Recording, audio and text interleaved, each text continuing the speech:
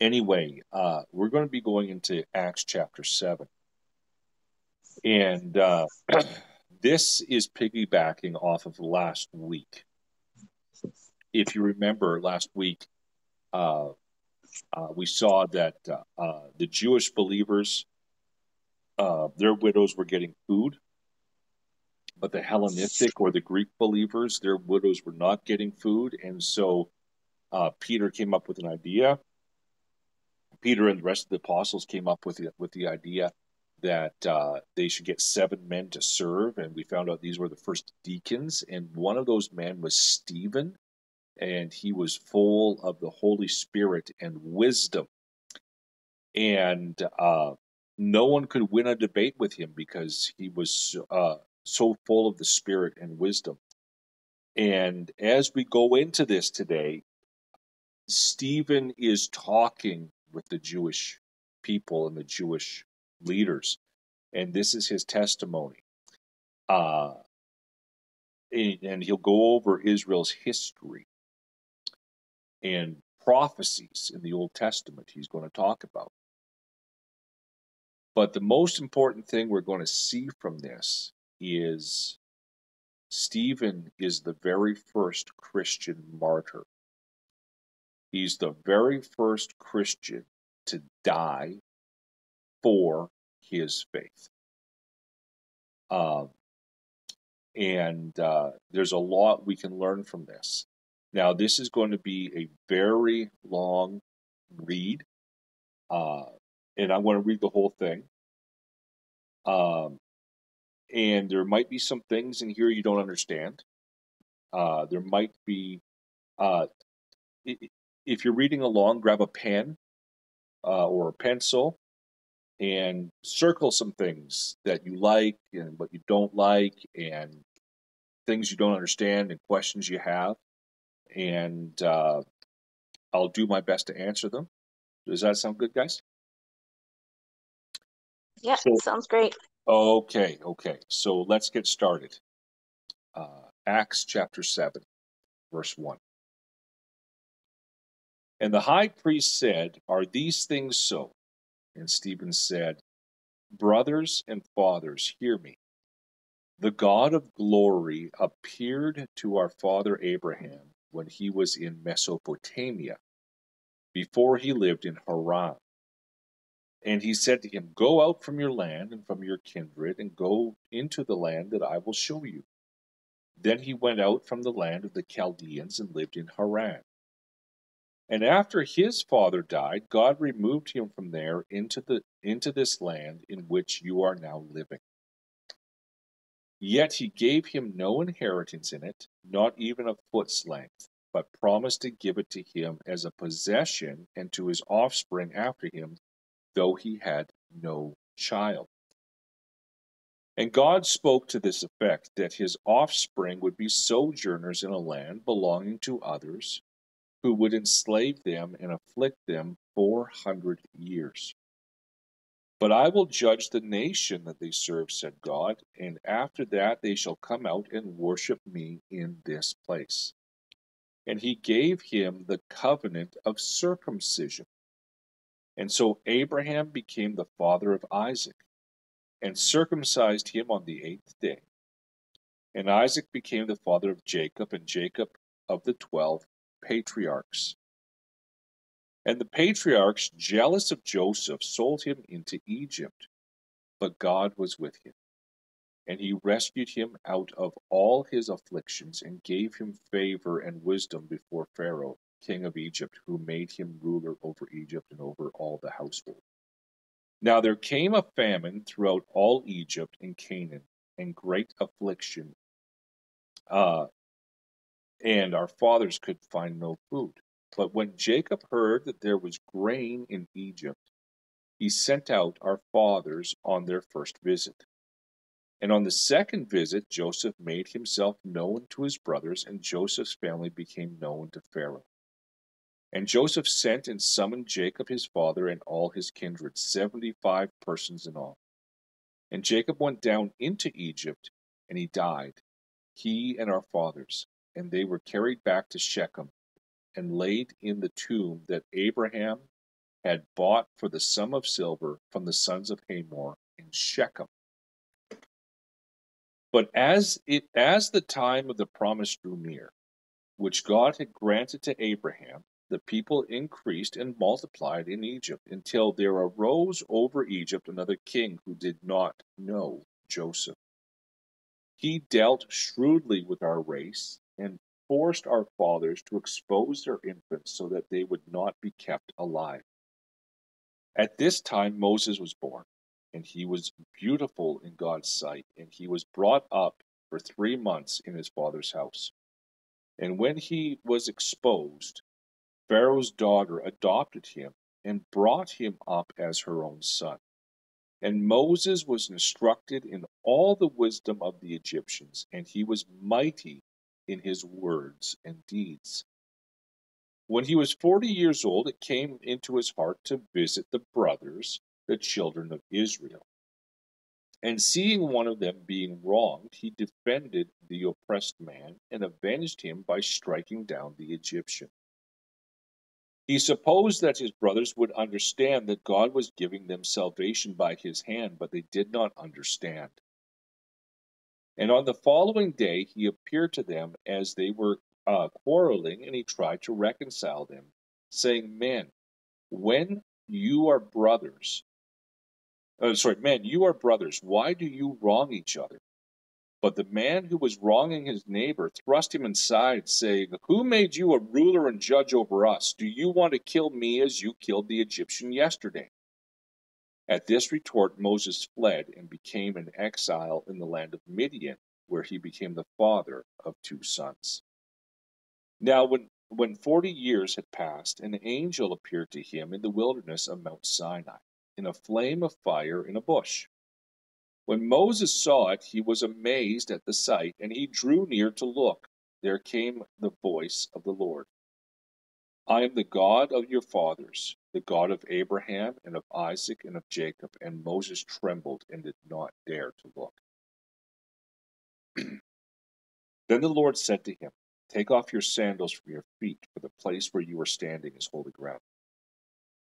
I have surely seen the affliction of my people who are in Egypt and I have heard their groaning, and I have come down to deliver them. And now come, I will send you to Egypt. This Moses, whom they rejected, saying, Who made you a ruler and judge? This man God sent as both ruler and redeemer by the hand of the angel who appeared to him in the bush. This man led them out, performing wonders and signs in Egypt and at the Red Sea and in the wilderness for forty years. This is the Moses who said to the Israelites, God will raise up for you a prophet like me from your brothers. This is the one who was in the congregation in the wilderness with the angel who spoke to him at Mount Sinai with our fathers. He received living oracles to give to us. Our fathers refused to obey him, but thrust him aside, and in their hearts they turned to Egypt saying to Aaron, Make us make for us gods who will go before us. As for uh, this Moses who led us out from the land of Egypt, we do not know what has become of him. And they made a calf in those days and offered a sacrifice to the idol and were rejoicing in the works of their hands. But God turned away and gave them over to worship the host of heaven, as it is written in the book of the prophets. Did you bring me slain beasts and sacrifices during the forty years in the wilderness, O house of Israel? You took up the tent of Molech and the star of your god uh, Rephan, the images that you made to worship, and I will send you into exile beyond Babylon. Our fathers had the tent of witness in the wilderness, just as, as he who spoke to Moses directed him to make it, according to the pattern that he had seen. Our fathers, in turn, brought it in with Joshua when they disposed the nations that God drove out before our fathers. So it was until the days of David, who found favor in the sight of God and asked to find the dwelling place for the God of Jacob. But it was Solomon who built a house for him. Yet the Most High does not dwell in houses made by hands, as the prophet says. Heaven is my throne, and earth is my footstool. What kind of house will you build for me, says the Lord, or what is the place of my rest? Did not my hands make all these things? You stiff necked people, uncircumcised in heart and ears, you always resist the Holy Spirit as your fathers did, so do you. Which of the prophets did your fathers not persecute? And they killed those who announced beforehand the coming of the righteous one, whom you have now betrayed and murdered. You who received the law as delivered by the angels and did not keep it. Now, when they heard these things, they were enraged, and they ground their teeth at him. But he, full of the Holy Spirit, gazed into heaven and saw the glory of God and Jesus standing at the right hand of God. And he said, Behold, I see the heavens open, and the Son of Man standing at the right hand of God. But they cried out with a loud voice and stopped their ears and rushed together at him. Then they cast him out of the city and stoned him. And the witnesses laid down their garments at the feet of a young man named Saul. And as they were stoning Stephen, he called out, Lord Jesus, receive my spirit. And falling to his knees, he cried out with a loud voice, Lord, do not hold this sin against them. And when he had said this, he fell asleep. So, before I start my questioning, most of this chapter that we read, what was Stephen doing?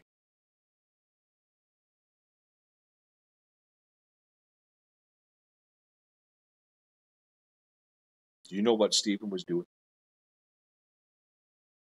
He was trying to spread the word, was he not? Uh, well, kind of. Who did he start with? Do you remember the guy he started with when he started talking?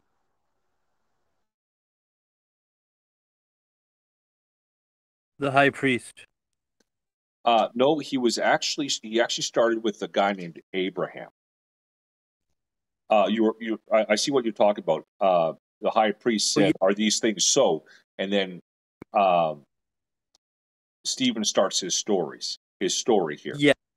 And he Yeah, starts Abraham. talking about a guy named Abraham, which is Abraham is the father of Judaism and Christianity.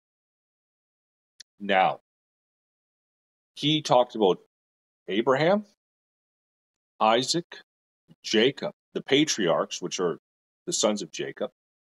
He talked about Moses. He talked about the prophets. He talked about David.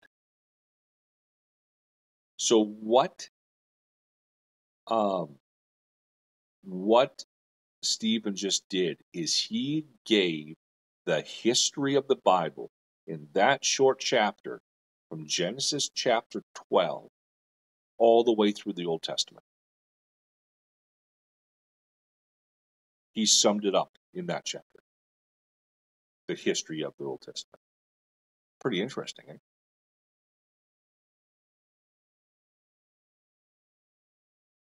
So now that we have that, go ahead, Will. No, it was just yeah, yeah. It was just like a what do you call that? A uh, a minute version of the yeah, Yeah. the whole story. That's right, the Reader's Digest version of the Old Testament. That's what he just did. He gave Israel's history. So now that we know what he was doing, what, and then we see that. Well, we'll we'll get into this into his stoning later tonight. When we look at Israel's history, and as he was talking about it, what did you like about that?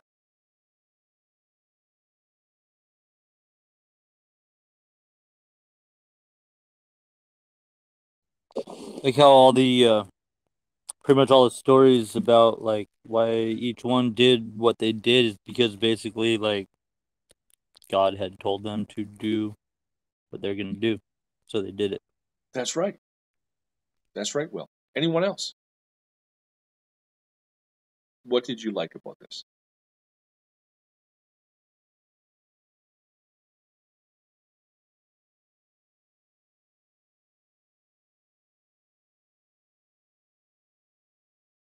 There was a lot to consume in this, especially if you don't know the Old Testament stories. There's a lot to consume. But is there anyone else that liked anything about what we read here?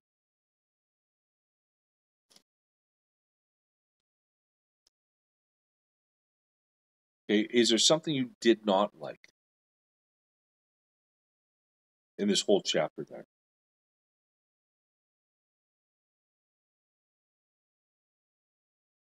Before we get into that, can I tell you what I did like? And I'll tell you why I liked it. Yeah. Okay. So Stephen gives the history of the Old Testament.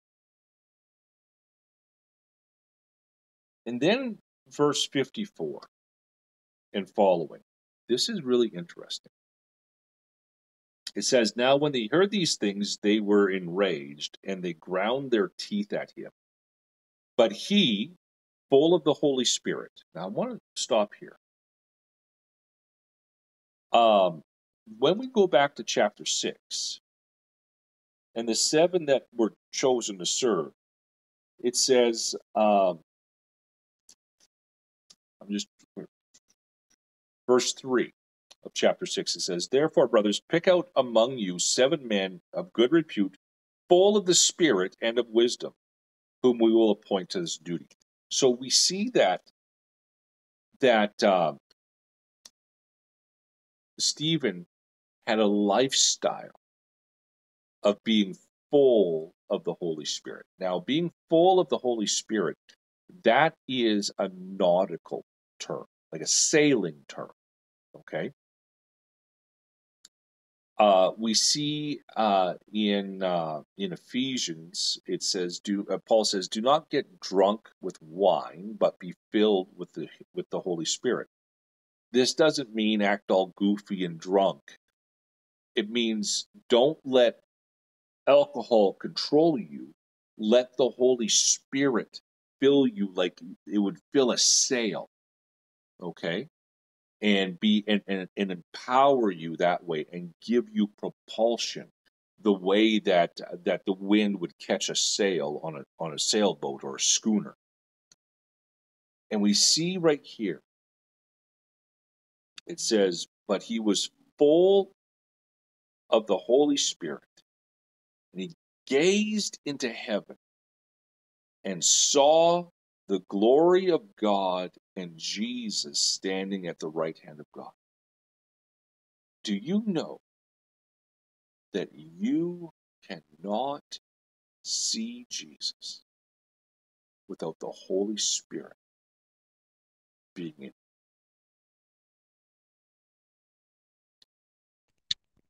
Amen.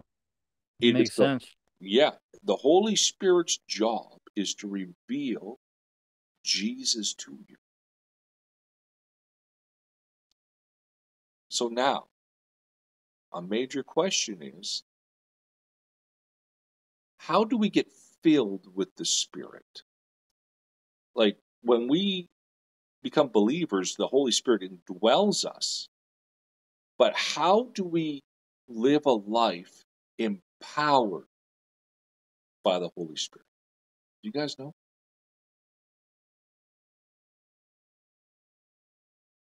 The Ten Commandments.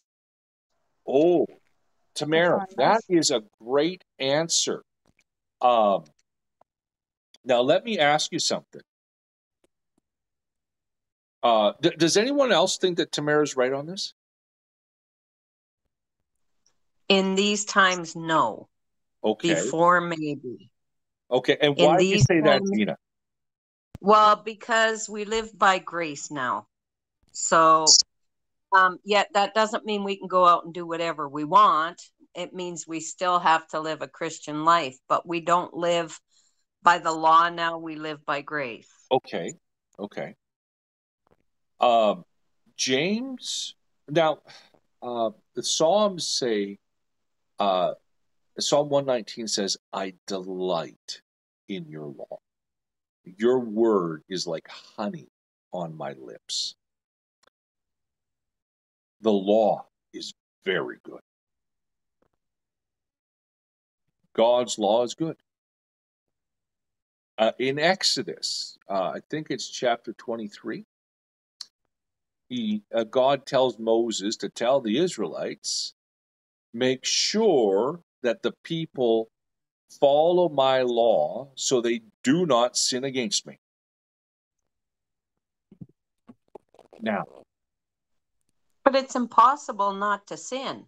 okay, I hear That's why Yeah. I say, you know what I'm saying? Okay, I I hear you. Now, Okay. now let me explain this for a second. Is God just being a tyrant, saying, "Don't you dare sin against me, or I'll smite you"? No. Okay, so No. what's God saying?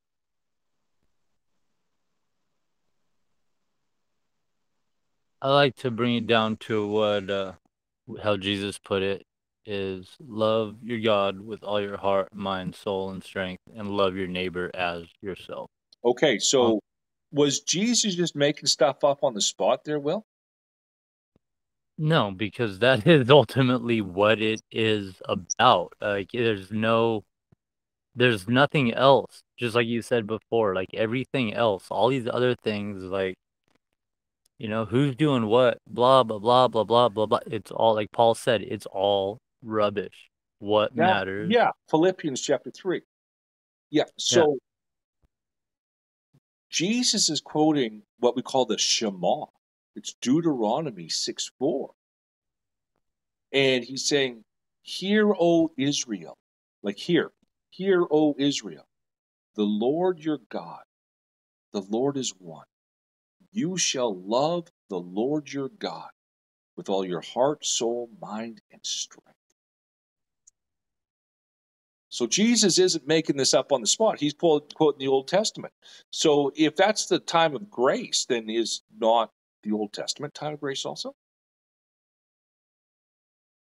And and No. Tamara, No. Tamara, I, I'm taking the long way around your answer here, sweetheart. Okay. No, because um, Jesus died after after the law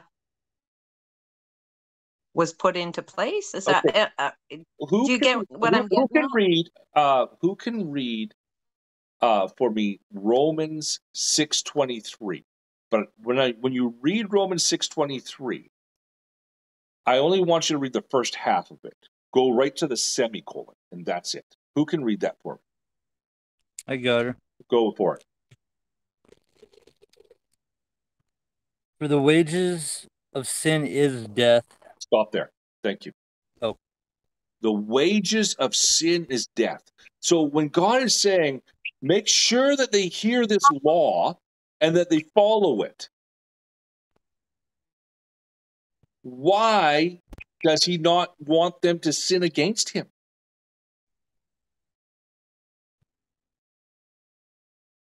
Leads to death. It leads yeah, to death. die. Okay. Yeah. Now what what does the second half of 623 say there, Will? But the free gift of God is eternal life through Christ Jesus our Lord. Okay. So here, what the law does here, Tamara, is it shows us we are sinners. And that we are spiritually dead. And so we don't, a lot of people think you, you can get, you, you can take this Bible and become very legalistic with it and say, okay, I got to do this and I got to do this and I got to do this and I got to do this in order to earn God's love. Or I have to do things just right. The answer is no. You got it wrong. Now, should we live a life of sin? No.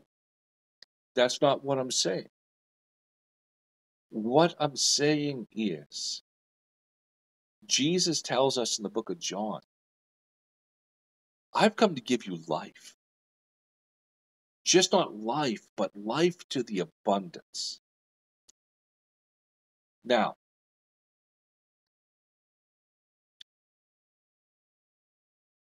if the wages of sin is death, And God says, teach them these laws so they do not sin against me. What is God's primary concern for your life? That it'll be eternal in the end. That's right. He doesn't want you to die. Okay? But all of us have sinned. Can you read uh, Will, can you read Romans 3:23 for me please? One second. Uh, Romans 3. 323 copy. Okay. For all have sinned, all fall short of God's glorious standard. Yeah. For all have sinned and, and, and have fallen short of God's glorious standard or have fallen short of the glory of God. I like that one better. Meaning, meaning, God created us in His image and His likeness. God is glorious, but because we have sinned, we have diminished God's glory. And we're like a broken mirror that doesn't work, and we turn out to be garbage.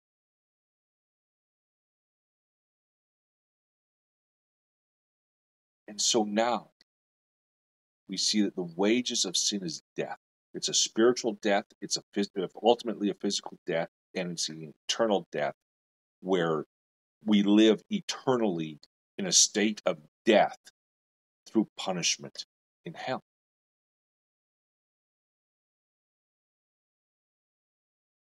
God says, Teach them my law so they don't sin against me.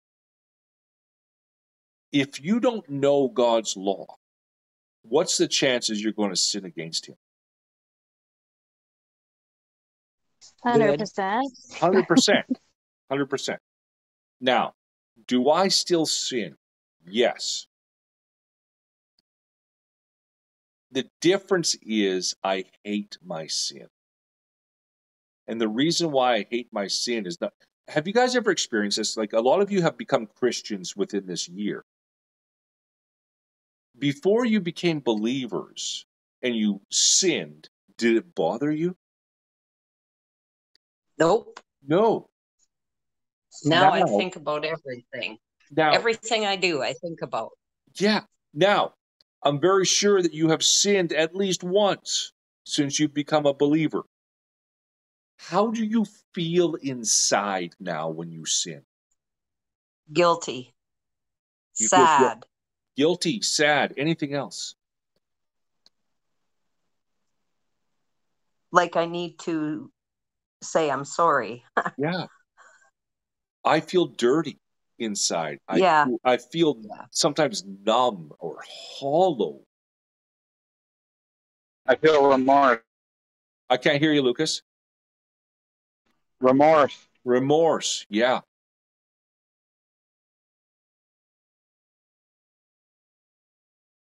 And that's the Holy Spirit being grieved in you. But what did God tell Moses to tell us in Exodus 23? Teach them this law that they will not sin against me.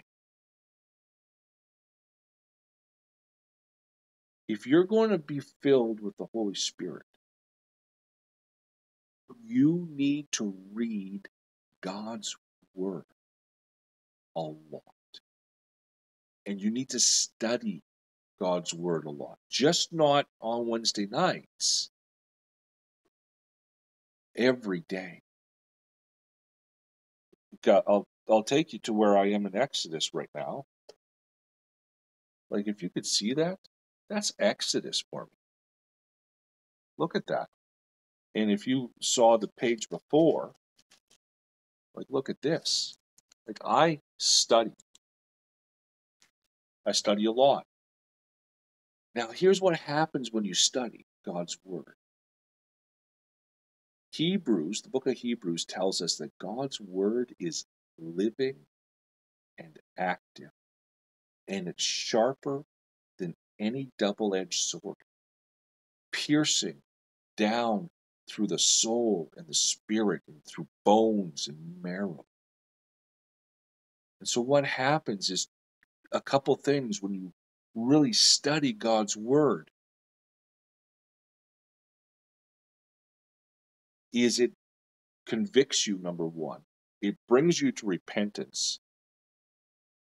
And then, because it's the Word of God that breathed out, Second Timothy 3.16 says that the uh, that um, all Scripture is breathed out by God. To be breathed out in in Greek, the, the word for breath, wind, and spirit is the same word. It's pneuma.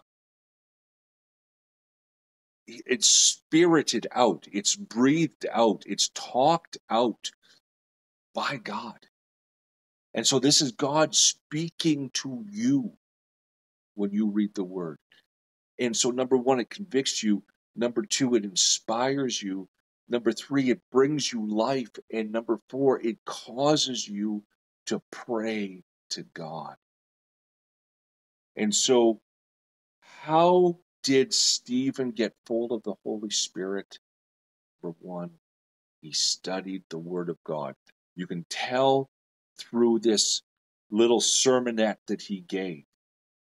He knew the history of Israel and the he knew that because he studied his Bible. And he was speaking to the leaders of Israel. And he, everything is 100% accurate according to the Old Testament. And he went from basically uh, Genesis chapter 12 all the way through the Old Testament and hit the highlights. And so he was a man of the word and he was a man of prayer. And because of that, who did Stephen see when he was full of the Holy Spirit? Jesus. He saw Jesus.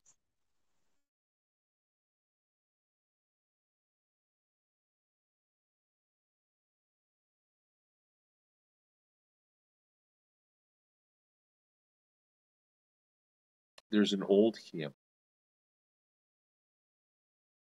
And guys, go search it out. It's called Be Thou My Vision. And it goes, Be Thou My Vision, O God of my heart. Listen to it. Are you reading the Bible because it is your Christian duty to do it? Or are you studying the Bible because you want life? Life to the to the abundance, and ultimately you want to see Jesus.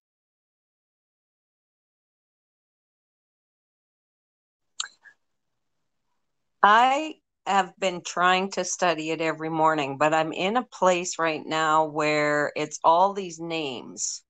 The Oh. father of so and so, the father of Oh, what? you are in Yeah, and- chapter 5 of Genesis? No. Um I'd I'd have to look up which one it is, but it's the father of so and so and the father of so and so and the father and the whole chapter is like that and it's a long chapter. of Matthew. Are you in Huh? Ma- are you in Matthew chapter 1? I'm really sorry guys, I don't know. Okay, that is It's fine. somewhere in the Old Testament. Okay. Okay. So those genealogies are actually very important. Okay, so help me with that because they don't mean anything to me. They ma- It's just frustrating. Um,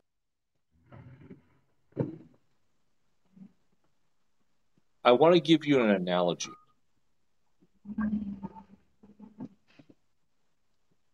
One of my favorite movies, movie trilogies, is Back to the Future.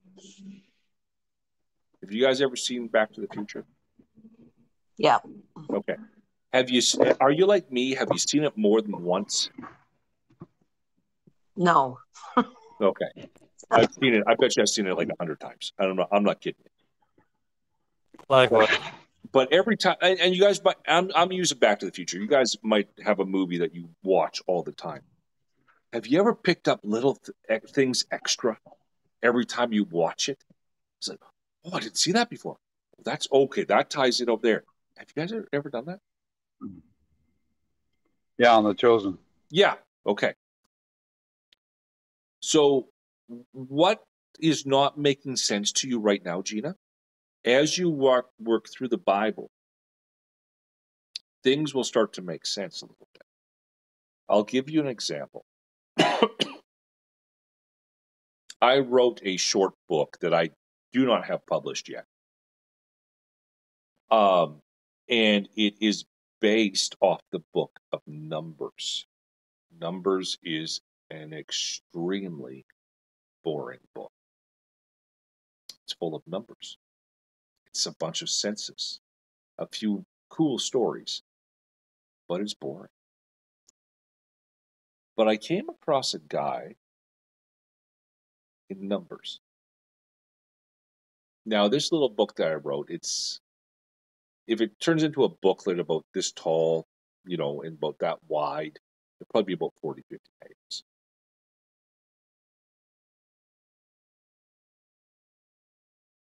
Ran into a guy named Nahshon. N A H S H O N.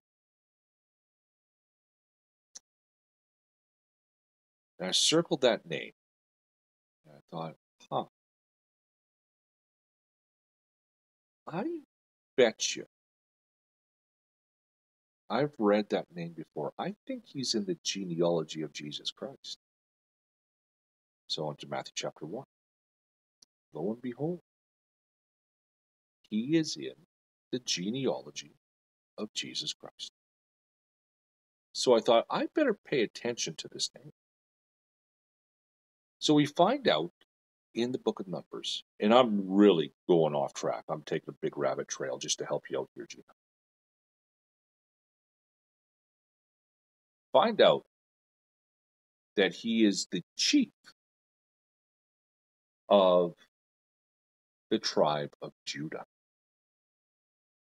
Interesting. Now, as I keep reading through the Bible, I come to, I believe it's is it First Chronicles or Second Chronicles. Let me see here. I'm in Second. I was going to tell you, it is Chronicles that Oh. I the that is the one, and I think it's fifteen through fifty-eight or something. Okay. That This one here is in chapter two that I'm looking for. The genealogy of David. Now, this is really cool. A bunch of names. But listen to this. These are, and we're going to get down to chapter, uh, to verse 10. And this is awesome. These are the sons of Israel Reuben, Simeon, Levi, Judah, Issachar, Zebulun, Dan, Joseph, Benjamin, Naphtali, Gad, and Asher. The sons of Judah were Ur, Onan, and Shelah. Uh, these three, Bathshua, the Canaanite, bore to him. Now Ur, Judah's firstborn, was evil in the sight of uh, of the Lord, and he put him to death.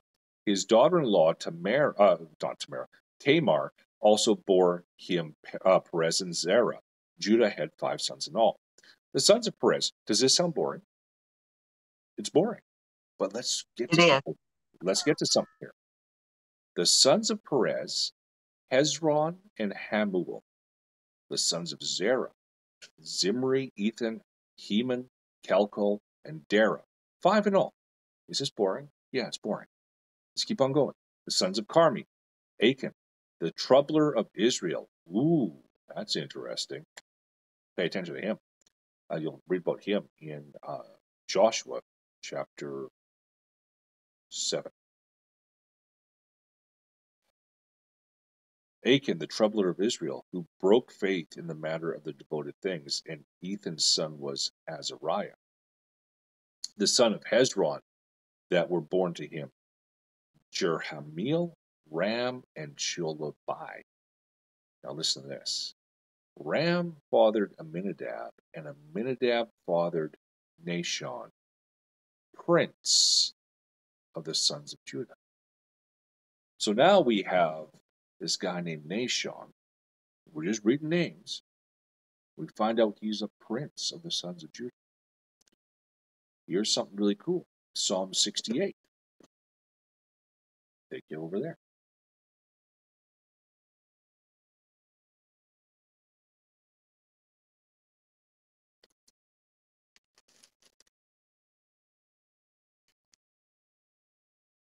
Psalm 68.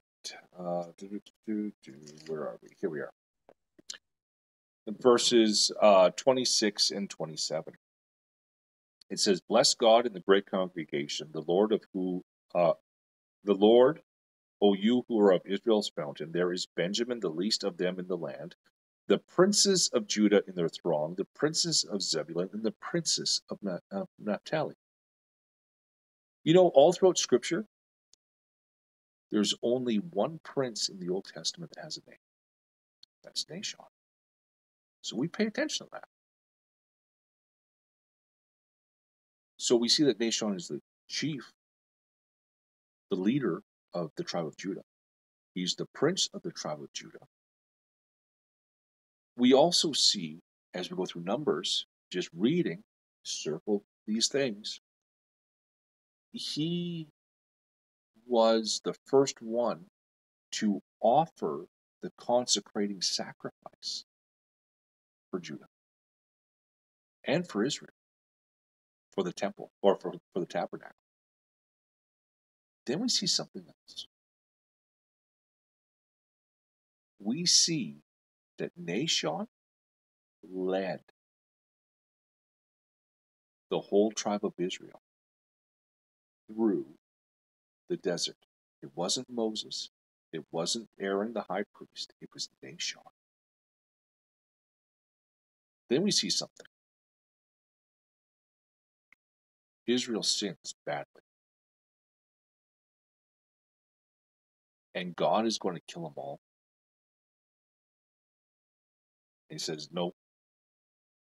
Instead of killing them all, I want you to take all the chiefs of the tribes and I want you to hang them on a tree. And that word hang means to hang and pierce on a tree. Yeah, I I think I read that somewhere already. That, that's in the book of Numbers. So now we see something here. Nahshon is foreshadowing Jesus Christ. We see that he is the leader of Judah. Jesus comes from Judah. We see that he's the prince of Judah. Jesus is the king of Israel. We see that he offered the first consecrating sacrifice for the tabernacle. Jesus is the sacrifice for the church. We see that uh, he fought, he led Israel through the desert. Okay,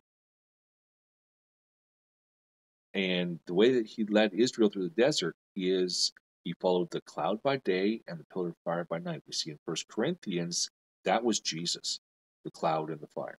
We see that in First Corinthians. And then we see that Nahshon, because he was a chief of the tribe of Judah, he was basically crucified for the sins of the tribe of Judah, just like Jesus was crucified for the sins of the and when you read all of this, it actually gets tied up together in Psalm 68, where I just read, and then it goes into Isaiah and it goes into Matthew, and it's just amazing. But you can't get there until you read through all these little boring parts, and then you'll hit a little story, and it'll go, I read that name before. And then if you're anything like me, you don't know where you read it, so you Google it, and it pops up, and then you get to find it again. Okay.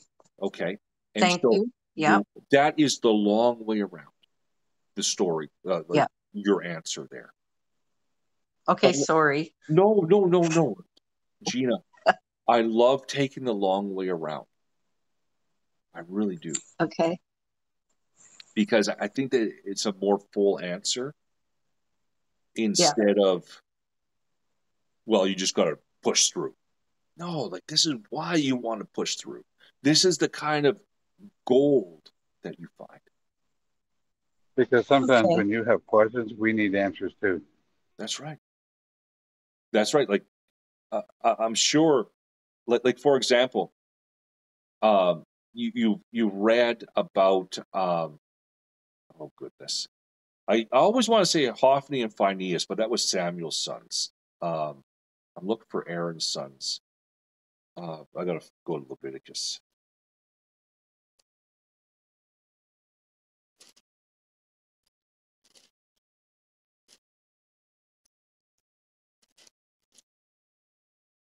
Nadab and Abihu. Okay. God killed Nadab and Abihu in the tabernacle because they offered strange fight. They went against how God prescribed sacrifices to happen. And he killed them. And this is very interesting because every genealogy you read of the priestly line, the story of Nadab and Abihu is in every one of those stories, in every one of those genealogies. And so when you know the story, you know what's going on. So Thank you. I digress. We totally got off track, but that's my fault. But I hope that you guys learned something. Anyway. So let's go back to Acts. Acts chapter 7.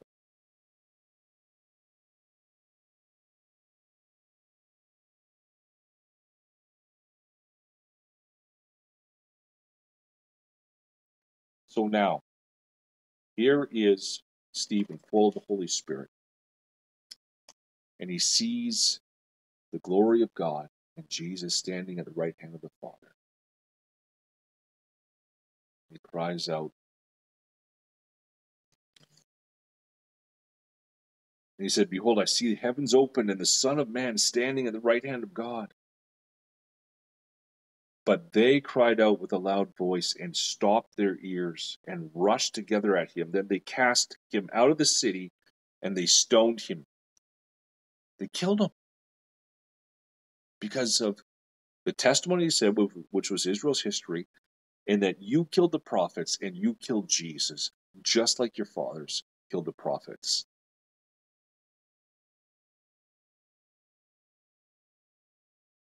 And they and the witnesses laid down their garments at the feet of a young man named Saul. Who do you think this young man named Saul is?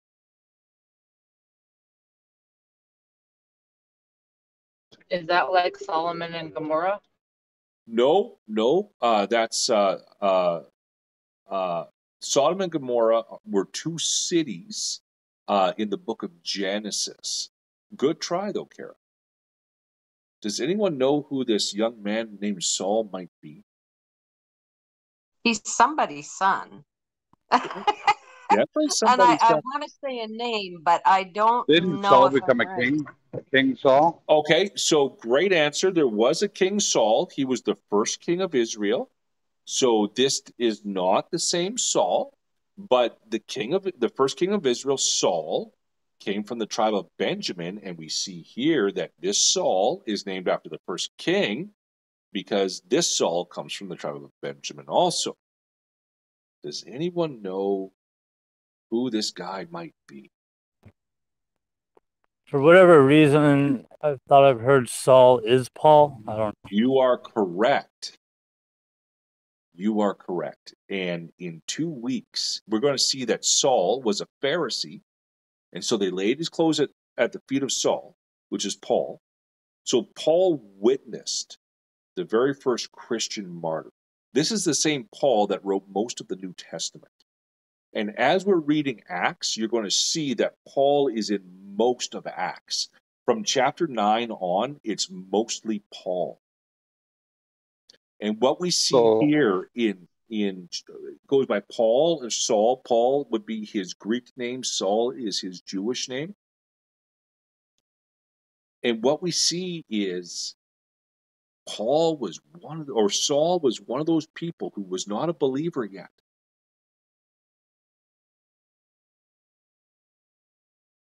And he was there basically basically certifying that Stephen was killed as a blasphemer. Saul is what we So would Saul- call today a Jewish terrorist.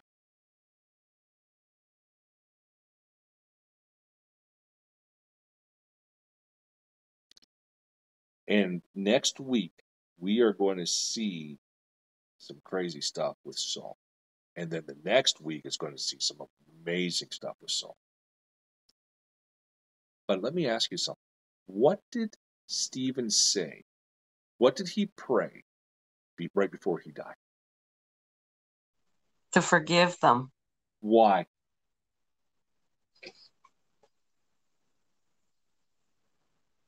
I can't see. I don't have my glasses on. Go, go, gadget eyes, Gina. yeah, no, yeah, I know. It's terrible. Was he the one that was stoned? Stephen was stoned.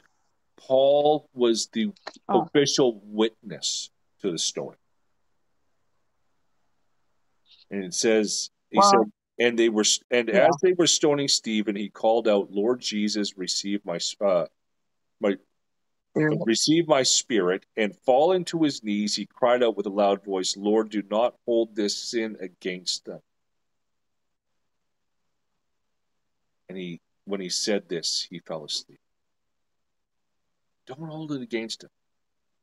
What did Jesus pray as they were yelling at him, crucify him, Forgive crucify, them.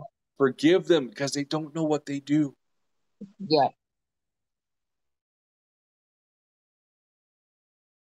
Who was, was Stephen acting more like a man or more like Jesus as he was Jesus.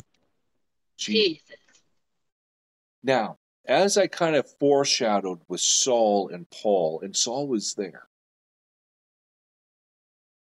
did God end up forgiving Saul?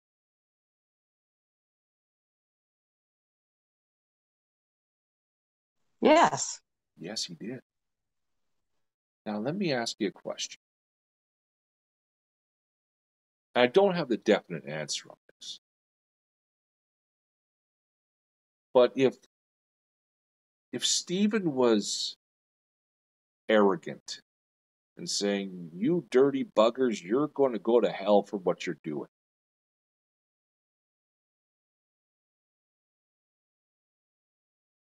do you think? Do you think that might have turned Saul off of Christ? I don't know. Could have. Hundred percent Could have. would turn him off of it. Of Do you think- course. You, do you think that maybe him praying that might have pricked Saul's own heart a bit?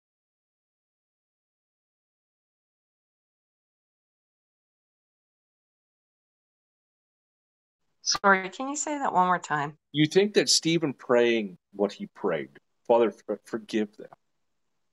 Yeah.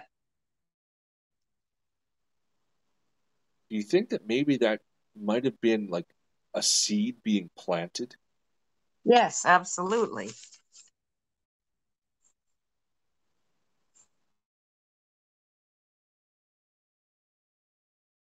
Do you know that Paul ended up writing one third the New Testament?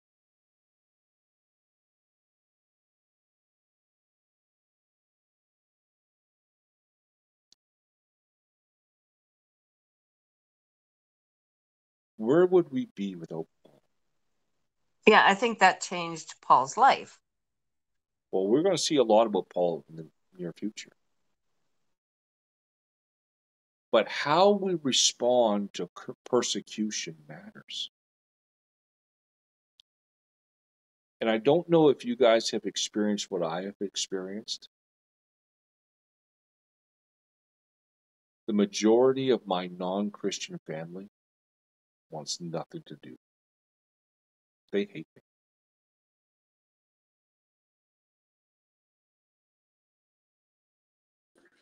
I'm late getting here, but I've experienced this already.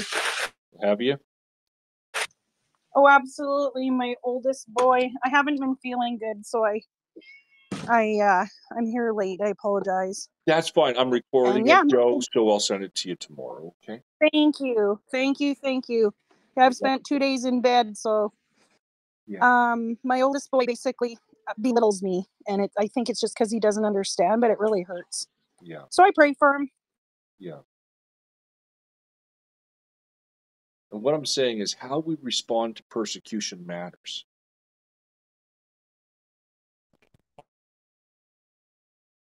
People who are not Christians will hate you because you're not one of them. But how we respond to persecution matters because we don't know who God's going to save. But if we can plant that seed, even to the point of persecution where they're going to kill us,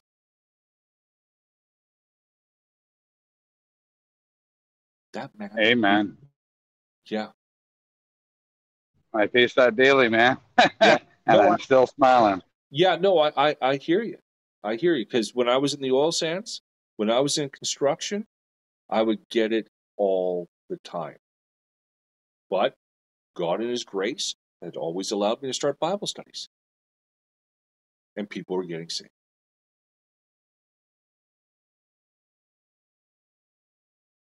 Amen.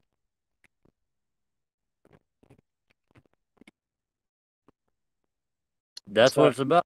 That's it. That's it. So that was that long chapter summed up, and we, we really took the long way around to get here. So, what do you think we should do with what we've learned tonight?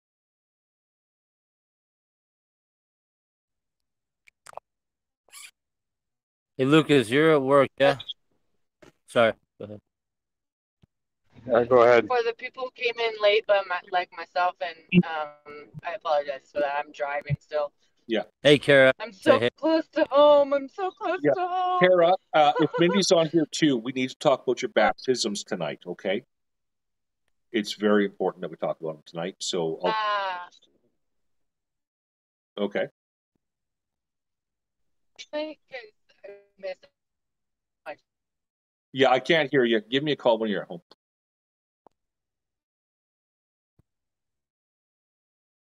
Anyway, what, how do we apply this to our lives from what we learned tonight? How do we put it in practice? Study our Bibles and learn from others' mistakes Yeah, to study the Bibles. that we're reading Not about like in the study. Bible. And, Yeah. you know, guys, I want to tell you your personal study of the Bible is going to be like Gina. You're not going to get it all at once. You're going to get to those boring parts. You're going to get in so and so begat so and so, and so and so begat so and so. Work through it because what's going into you will finally start connecting the dots throughout the Old Testament and New Testament. And you're it'll take your breath away, really. Study your Bible. That's great. What else? What what, what else can we do, guys? Sometimes it's that fine grain of sand of information that connects all the dots and gives you the biggest mind blowing experience of your life. That's right. Like you'll be reading the Bible. I want to be very clear with you guys here. Have you guys ever been reading the Bible and like a verse like jumps out at you? It's like I've never seen that before, and you just can't help but focus on that verse and it kind of takes your breath away. Have you guys experienced that yet? Quite a few times, yeah. Yeah. Yeah. Okay. This is my first time reading it, so sometimes something will Okay. pop out. That's awesome. Now we we see in Second Timothy three sixteen, for all Scripture is breathed out by God, and is profitable for rebuke, for reproof, for correcting and, cha- and training in righteousness, so that the man of God may become thoroughly equipped for every good work. So, since the Word of God is breathed out, all Scripture is breathed out or spirited out by God, whose words are these?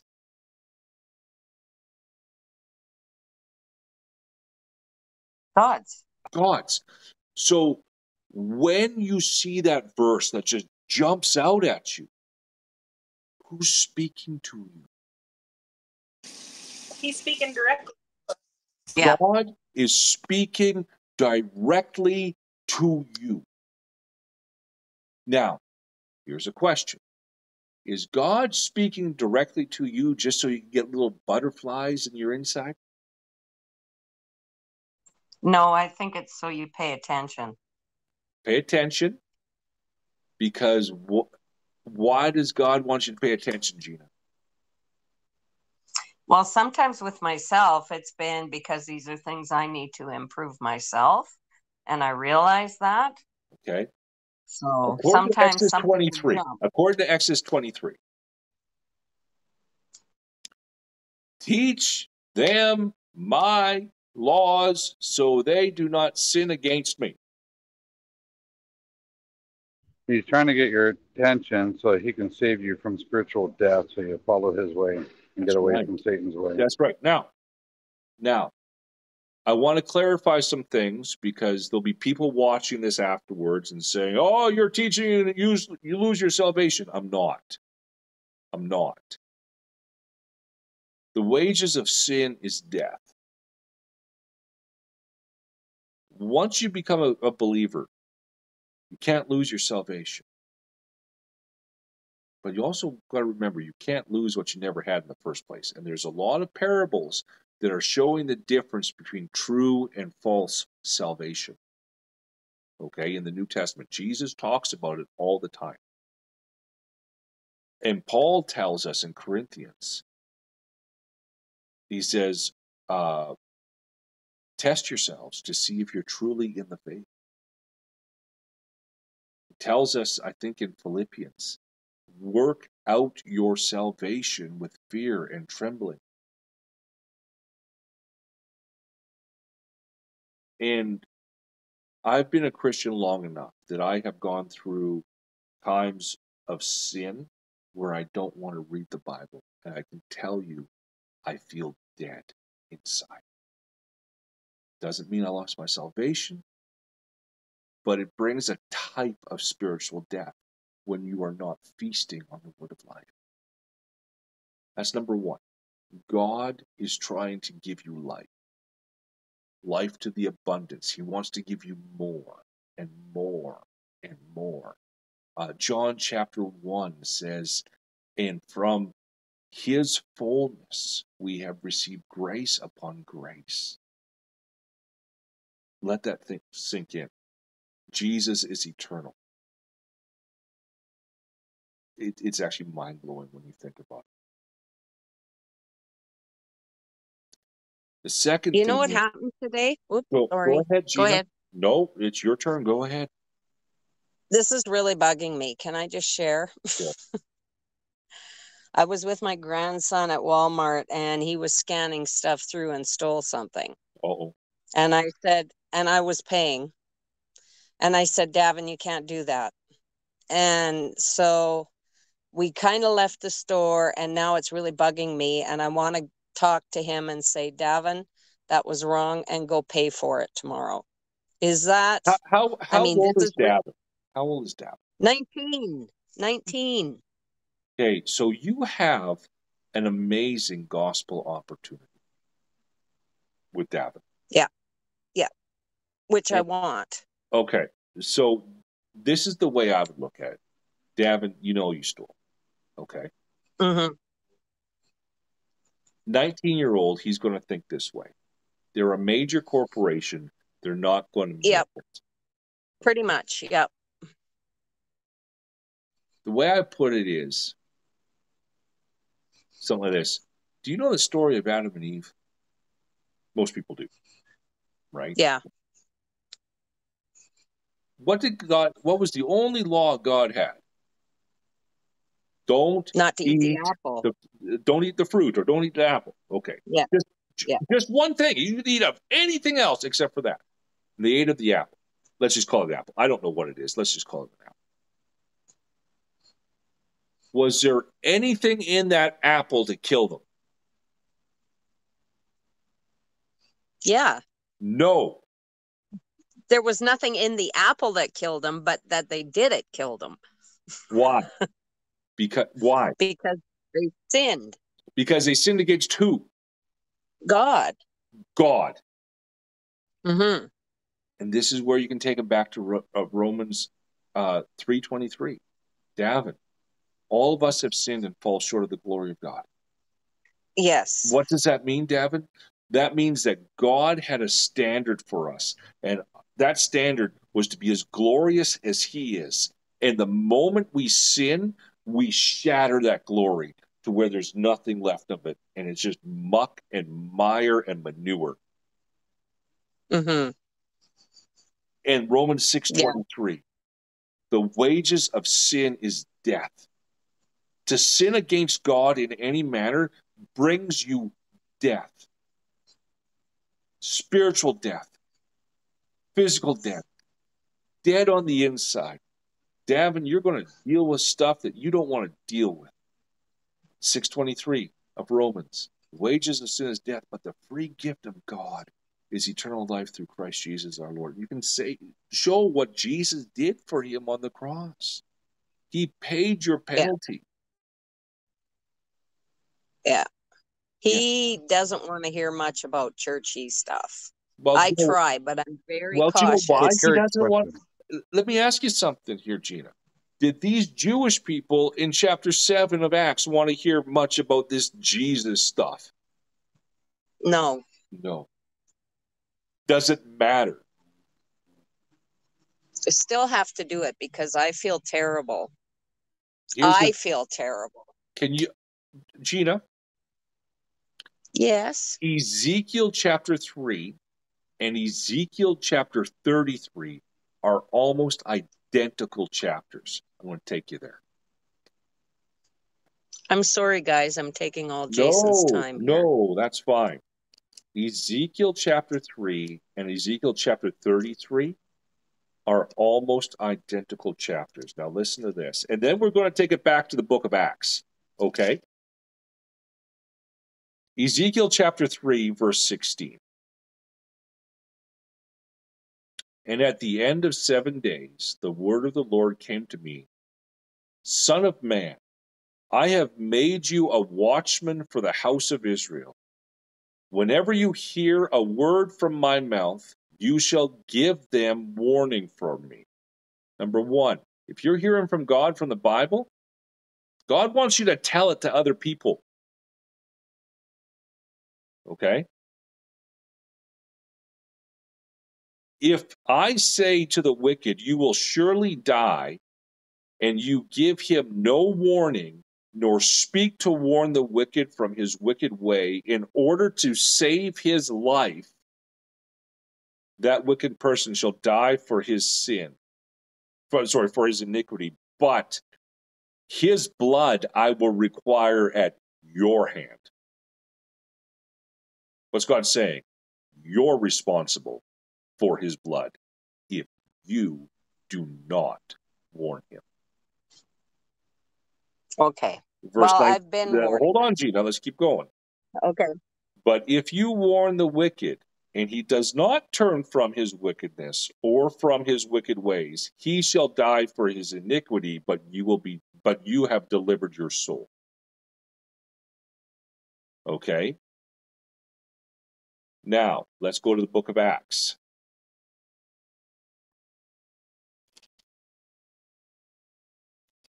And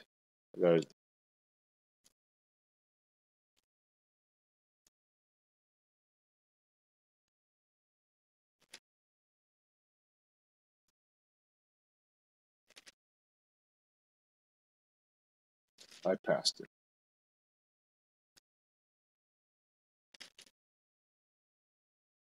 Acts chapter 20. Now, Paul uh, is in Ephesus. He's planted this church, and it's time for him to say goodbye to the elders because he's moving on. And he says in verse 25 of chapter 20 of Acts, And now behold, I know that none of you, none among you whom I have gone about proclaiming the kingdom will see my face again. Therefore I testify to you this day that I am innocent of the blood of all. For I did not shrink from declaring to you the whole counsel of God. These people in Ephesus were mostly Gentile believers. Ezekiel, God's telling Ezekiel, speak to the people of Israel. And Paul's taking this saying, speak to the people of the world. And he's saying, if I I warned all of you and I gave you the whole counsel of God, and therefore I'm free of the blood of anyone. Your blood's on your own head if you don't believe. I shared with as many people as I could. So when God gives you a word from the Bible, you need to share it with others. Sorry, yeah, I, I know this. It it is. It's been bothering me all night how I'm going to handle this. So this is we're going to pray for you right now, Gina. You're going to pray, and Davin is his name. Yeah. Let's pray for Davin, Father.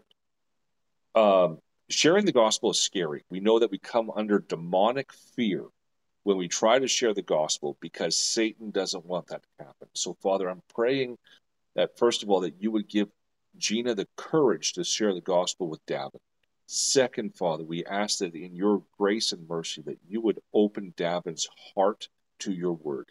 He may not become a believer right away, but I pray that that word would be planted and that you would save his soul. In Christ's name, Amen. Amen.